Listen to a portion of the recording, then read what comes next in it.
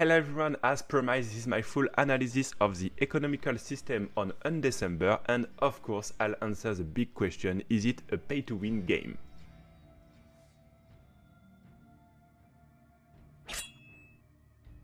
I'll start with the in-game shop and the battle pass.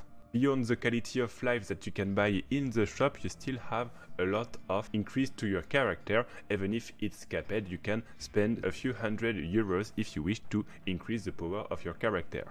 For this, it's more a pay to fast because other players can reach the same level by grinding the game. The boosts given by this battle pass or in-game shop are not that broken and still possible to compensate with the gaming time. Second point that you need to fully understand is that in the shop you have two currencies. The first one are the diamonds and the other one the rubies.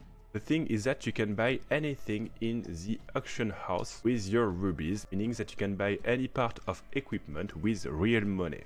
If you want a legendary weapon or armor, you just need to have enough euros to pay it still very hard to understand why they make this choice and if you wish to stay free to play players you need to cope with, especially already think of selling your items for rubies in order for you to get without paying with real money.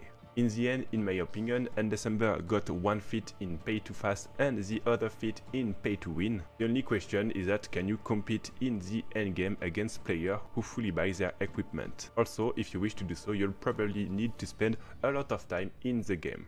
Thanks for watching this video, I hope you fully understand how the currencies work in Undecember and as usual feel free to post in the comments if you have any question or opinion on it.